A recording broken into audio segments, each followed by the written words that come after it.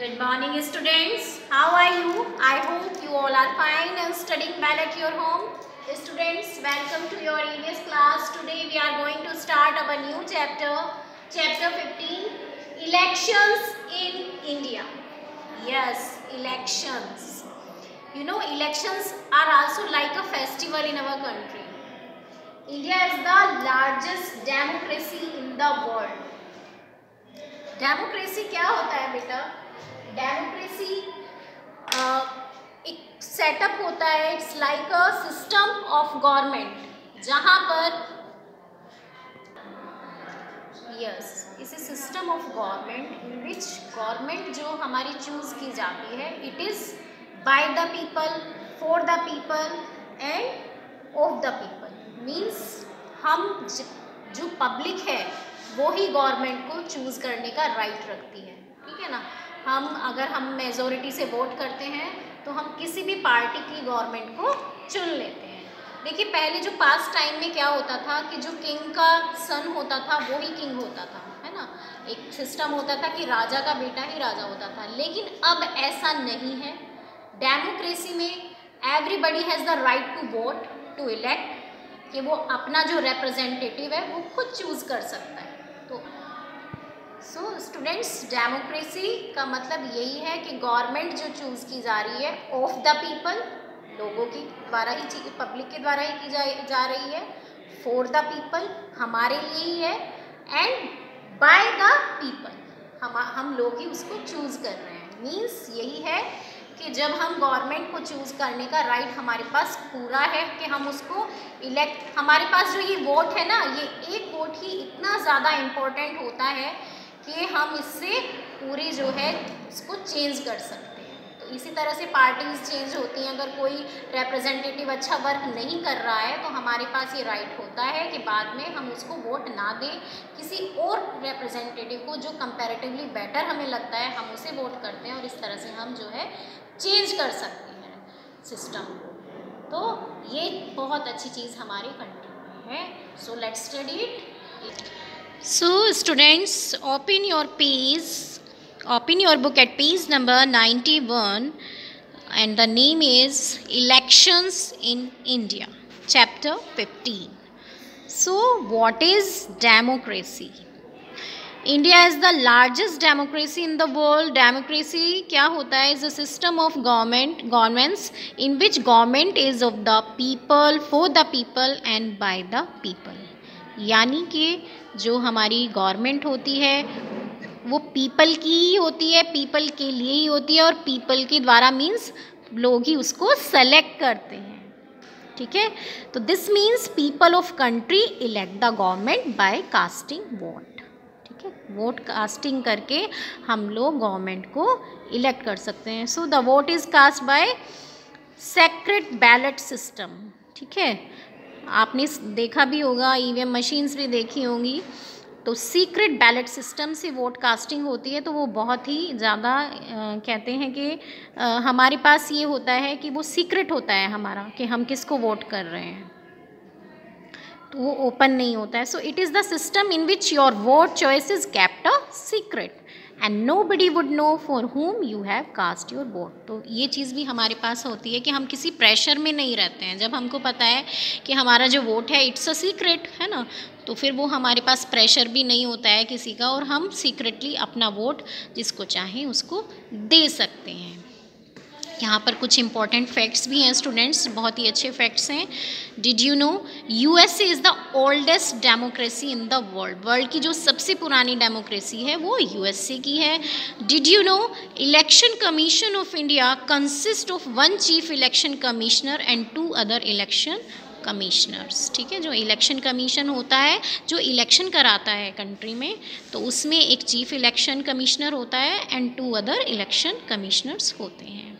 So elections in India आपको सभी को मालूम है ना कि हम लोग इलेक्शंस भी हमारे यहाँ ऐसे होते हैं जैसे कि festivals India is a nation of diversity and huge population where the election process is not that easy क्योंकि जो इलेक्शन का प्रोसेस होता है, वो भी इतना इजी नहीं होता है बिकॉज़ हमारा जो नेशन है, उसमें it's our country is a very big country and there is a huge population so all adult adult means those who are above 18 जो 18 से ऊपर की एज जिनकी होती है, उनको अडल्ट एडल्ट बोलते हैं तो adult citizens participate in the election process ठीक है? तो जब आप 18 ईयर से ऊपर के हो जाओगे 18 ईयर के हो जाओगे, तब आपके पास एक राइट right रहेगा वोट करने का. So there is a special body that is responsible for conducting free and fair elections throughout the country and it is called the election commission of India ठीक है? तो एक जो स्पेशल बॉडी होती है उसको हम बोलते हैं एक स्पेशल जो है आ, आ, कुछ आ, लोगों को लेकर ठीक है? बनाई जाती है, वो जो होती है it's that is responsible for conducting free and fair elections तो इलेक्शंस कराने का जो सारा होता है प्रोसेस वो उनके हाथ में होता है और उनको बोला जाता है it is called the election commission of India so its duty is to conduct elections for central government and state governments of India ठीक है सेंट्रल गवर्नमेंट और स्टेट गवर्नमेंट में जो इलेक्शंस कराए जाते हैं तो वो इन्हीं की ड्यूटी होती है इलेक्शन कमीशन की, कि एक फेयर इलेक्शंस हो हो सकें फ्री इलेक्शंस हो सकें, कहीं पर कोई धांधलेबाजी ना हो फ्री रहे, है ना, कोई प्रेशर ना हो। So there are state election commissions to in every state which conduct elections for local bodies like gram panchayats and municipalities. तो स्टेट इलेक्शन कमीशन भी हर स्टेट में होते हैं अलग अलग स्टेट में अलग स्टेट इलेक्शन कमीशंस होते हैं। तो वो लोकल जो इलेक्शंस होते हैं लाइक ग्राम पंचायत की और म्यूनसिपैलिटीज़ की, वो कराते हैं। Electronic voting machine Yes, the Election Commission of India issues voter ID cards to all adult citizens so that they can vote. They can cast vote, uh, cast their votes. ठीक है election commission जो होते होती हैं संस्था election commission जो होता है वो इशू करते हैं वोटर आईडी कार्ड्स ठीक है जब आप लोग ने देखा होगा कि आपके पेरेंट्स जाते हैं अपने वोट कास्ट करने के लिए तो वो क्या करते हैं कि वोटर आईडी उनके पास होता है। उसको जब वो शो करते हैं, तभी वो जो है वोट दे सकते हैं अदरवाइज़ वो नहीं दे सकते हैं। तो ठीक है इलेक्शन कमीशन ही जो है, ये इशू करता है वोटर आईडी कार्ड्स क्योंकि जो वोट करने का जो राइट होता है, वो सिर्फ़ सिटीजन्स के पास, यानी कि जो इंडिया के सिटीजन्स हैं, नागरिक हैं, उन्हीं के पास होता है। कोई अदर सिटीजन अदर कंट्री का सिटीजन वोट नहीं कर सकता है। तो वो हम लोग कैसे डिस्क्रिमिनेट करेंगे? जब हमारे पास वोटर आईडी कार्ड होंगे। तो वोटर आईडी कार्ड हमारे पास होता है तो हम लोग उसको शो करते हैं, तभी हम केवल only then we can vote we can cast our vote तो इलेक्शन कमीशन जो है, वो इशू करता है। Electoral rolls are prepared by various government agencies which contain names and addresses of voter area wise. ठीक है? उसके लिए जब ये वोटर आईडी कार्ड्स से पहले क्या किया जाता है? Electoral rolls are prepared by various government agencies उसमें क्या होता है? Which contain names and addresses of voters ठीक है? वोटर्स के जो एरिया वाइज हैं नेम्स और एड्रेसेस उसमें होते हैं. So election commission makes elaborate arrangements for conducting nationwide elections ठीक है? इलेक्शन ये नहीं कि ऐसे ही हो जाते हैं। इलेक्शन एक बहुत ही लंबा प्रोसेस होता है और it means it makes elaborate arrangements बहुत सारे इसमें अरेंजमेंट्स करने होते हैं।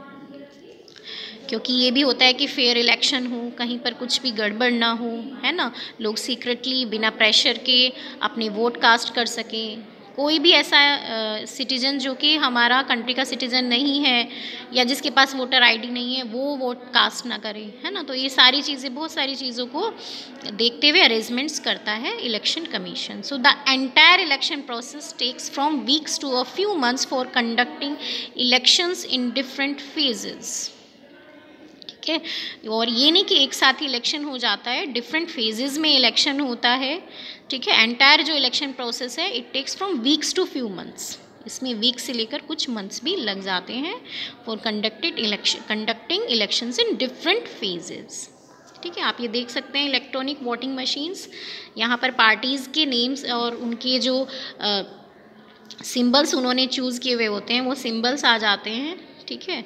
और हमें जो अच्छा लगता है कि हमें जिसको वोट करना है, हम उसको, उसके सामने वाले जो है बटन को हम लोग प्रेस कर देते हैं। तो इस तरह से हमारा कास्टिंग वोट, कास्टिंग होती है nowadays so nowadays EVMs electronic voting machines are use for casting votes which is the quickest है ना? ये क्विकेस्ट भी होता है ईजिएस्ट है and safest way to vote है। इसमें कोई भी ये माना जाता है कि पहले क्या होता था कि पर्ची वगैरह पर हम लोग उस पर थंब लगाए जाते थे। तो वो भी चीज़ थी, लेकिन उसमें बहुत मतलब उससे ज़्यादा क्विक और इजी और सेफ़ जो है ई को माना जाता है। So, use of EVMs also helps in quick counting of the votes. इसमें क्या होता है कि काउंटिंग भी जल्दी हो जाती है, hence the declaration of result भी ईजी रहता है और क्विकेस्ट रहता है।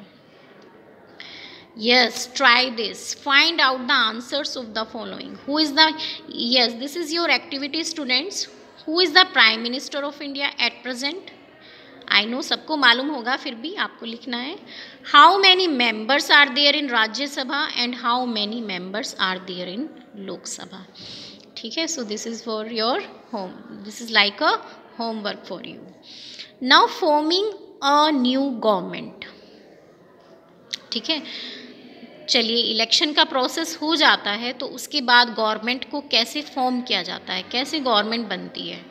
India follows a parliamentary system of government governance do you know what it is let's understand ठीक है जो इंडिया में है, एक पार्लियामेंट्री सिस्टम है. पार्लियामेंट का नेम भी आपने काफ़ी टाइम सुना होगा, Lok Sabha and Rajya Sabha. So let study parliament is the central law making body that governance the nation ठीक है? सेंट्रल लॉ मेकिंग बॉडी है। जो ये लॉज आते हैं ना, इतने सारे जो गवर्नमेंट के रूल्स आते हैं। So there are two houses in the parliament Lok Sabha and Rajya Sabha in this system head of the central government the prime minister is elected by the Lok Sabha members and these members of Lok Sabha are chosen by the people of India through general elections these members belong to different political parties whichever party wins wins the election by a majority means wins more than 2 upon third of the total seats in the Lok Sabha gets to choose the Prime Minister. So the Prime Minister forms the central government which takes care of the entire nation. On the other hand, different states of India are governed by their own state of governments.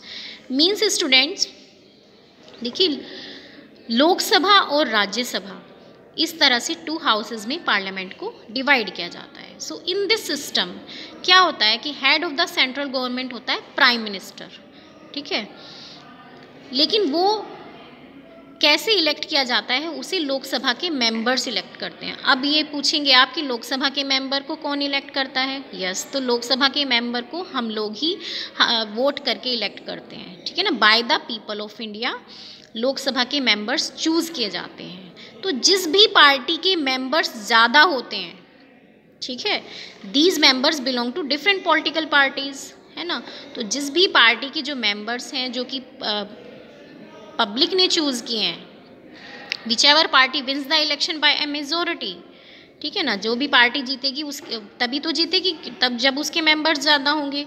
तो जिस भी party के जो members ज़्यादा होते हैं means जो भी पार्टी विन करती है wins more than two upon third of the total seats in Lok Sabha तो जितनी भी सीट्स होती हैं, अगर उसका टू अपॉन थर्ड पीपल जो है, वो जीतते हैं तो उनको जो है मेजोरिटी मिल जाती है और फिर वो अपना जो है द प्राइम मिनिस्टर उनको अपनी जो है, एक उसको चूज़ करते हैं।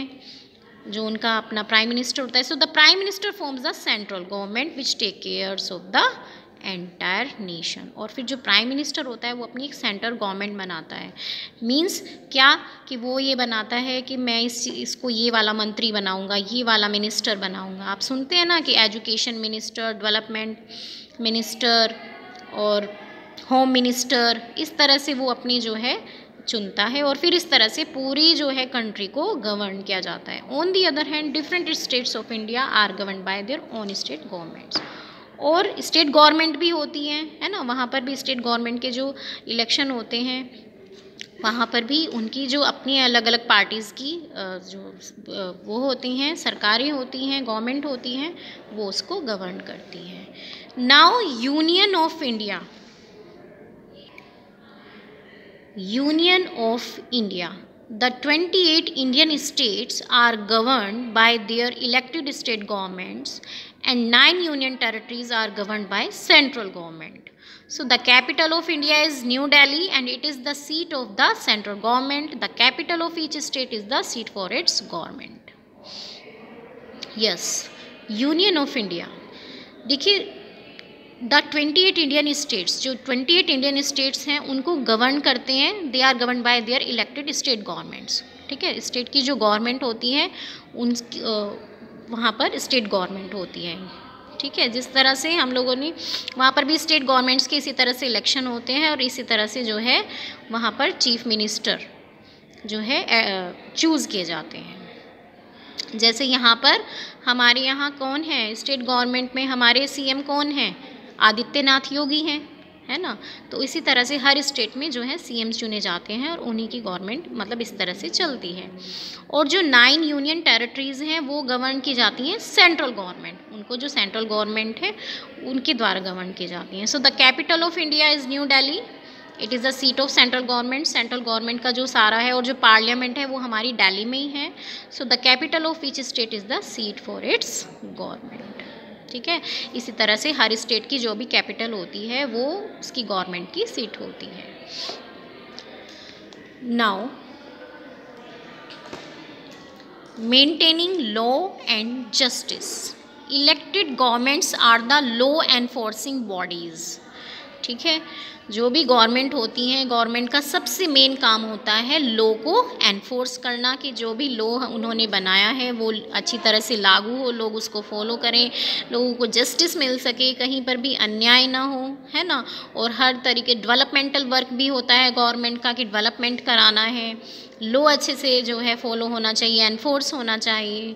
तो this is the maintaining law and justice do you know what happens when laws made by the government are broken और अगर लॉज जो हैं तोड़े जाते हैं means broken they are broken तो अगर कोई लॉ तोड़ता है तो फिर उसके लिए भी कुछ पनिशमेंट्स होती हैं। जैसे आप क्लास में होते हैं ना और आप लॉ को फॉलो नहीं करते तो फिर देर इज़ एक पनिशमेंट्स आपको भी मिलती हैं तो सेम चीज़ें होती हैं कि अगर पीपल लो को नहीं फॉलो करते हैं तो फिर जो है गवर्नमेंट का काम ये होता है कि उसको देखना और वहाँ पर जो है लॉज बनाए जाते हैं और उसके अकॉर्डिंग ही अगर कोई लॉ तोड़ता है फॉलो नहीं करता है तो वहाँ पर भी उसके लिए एक प्रावधान होता है है ना? The country has courts of law which review and give justice on matters of violation of law laws जहाँ पर भी लॉज तोड़े जाते हैं ब्रेक किए जाते हैं तो वहाँ पर उनको कोर्ट्स ऑफ़ लॉ होते हैं जो उनको रिव्यू करते हैं और फिर वहाँ पर justice they give justice on matters of violation of laws so there is a union court called supreme court which is seated at New Delhi ठीक है? सुप्रीम कोर्ट कहाँ पर है? हमारा न्यू डेली में ही है। तो वो जो there is a union court उसको सुप्रीम कोर्ट बोला जाता है। It looks into the law and justice issues of the entire nation जो एंटायर नेशन के लॉ और जस्टिस के इश्यूज़ हैं कि किसने लॉ ब्रेक किया, ये एंटायर नेशन को देखता है supreme court so it is the highest court of appeal ठीक है? ये हाइस्ट कोर्ट ऑफ़ अपील होता है। देखिए, हर स्टेट में every state has a high court her state में हाई कोर्ट होता है। अगर हाई कोर्ट में हमें न्याय नहीं मिलता है तो फिर हम सुप्रीम कोर्ट में जाते हैं। So which looks into the law violation matters of that state so at present there are twenty four high courts in India ठीक है? ट्वेंटी फोर हाई कोर्ट्स हैं और जो सुप्रीम कोर्ट है वो there is a union court called supreme court so we have twenty eight states in India but we have twenty four high courts है ना so let's have a look which high courts are shared by how many states and union territories name of high court and states and union territories that share देखिए, Bombay high court है तो Bombay high court में जो states हैं वो महाराष्ट्र, दादर, नागर हवेली और दमन, Diu and Goa. ठीक है, ये जो है स्टेट्स और यूनियन टेरिटरीज हैं तो इनको हाई कोर्ट इनके लिए हाई कोर्ट है हमारा बॉम्बे हाई कोर्ट। यानी यहाँ के जो सिटीजन्स हैं, अगर उन्हें कोई भी लॉ जस्टिस की प्रॉब्लम है तो वो यहाँ पर अपील कर सकते हैं। इसी तरह से कोलकाता हाई कोर्ट में आज के जो एरियाज़ हैं, वो हैं West Bengal and Andaman and Nicobar islands. Madras high court Tamil Nadu and Pondicherry Guwahati high court Assam, Nagaland, Mizoram and Arunachal Pradesh, Kerala high court Kerala and Lakshadweep islands Punjab and Haryana high court में आ जाते हैं हमारे Punjab, Haryana and Chandigarh. इसी तरह से high court of judicature at Hyderabad, इसमें आते हैं हमारे Andhra Pradesh and Telangana. So the district court ensures justice at the district level these courts are under the judicial control of their respective high courts ठीक है? District courts भी होते हैं तो वो डिस्ट्रिक्ट लेवल पर जस्टिस को देखते हैं और हाई कोर्ट्स के अंडर वो काम करते हैं। ठीक है ना? तो इस तरह से एक सिस्टम बनाया हुआ है। जैसे आप स्कूल्स में भी स्कूल में भी देखते हैं ना कि हर क्लास में हम टीचर्स होती हैं और फिर टीचर्स के ऊपर प्रिंसिपल मैम होती हैं और फिर ऊपर मैनेजमेंट मेंबर्स होते हैं। तो इसी तरह से एक हमारे कंट्री का भी सिस्टम होता है है ना? कि हर स्टेट के लिए भी गवर्नमेंट होती है और एक फिर एक सेंट्रल गवर्नमेंट भी होती है। तो इस तरह से ही सिस्टमेटिक तरीके से ही काम कर, करते हैं। वरना इतनी बड़ी बिग कंट्री को क्या एक अकेला प्राइम मिनिस्टर देख सकता है? नहीं देख सकता है। चलिए now it's time for the difficult words so first word is secret ballot system second is election commission of third is electronic voting machines another is parliamentary system Lok Sabha and Rajya Sabha another word is supreme court another word is highest court of appeal. Another word is district district court इसके अलावा भी students अगर आपको कोई words जो हैं difficult लगते हैं तो वो आप लिख सकते हैं। मैं आपको एक्टिविटीज़ में बता ही चुकी हूँ। So student, the class is over. Keep learning and keep studying.